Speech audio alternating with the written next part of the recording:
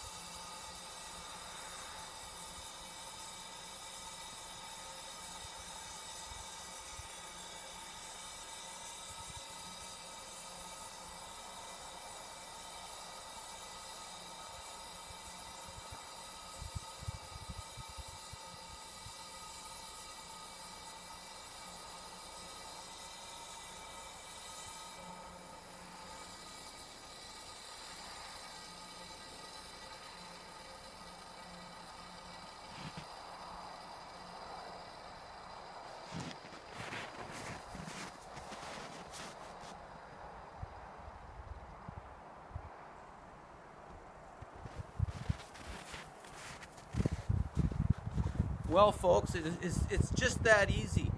Now, if you needed to flip this out, it's as simple as releasing the, the mechanism on top.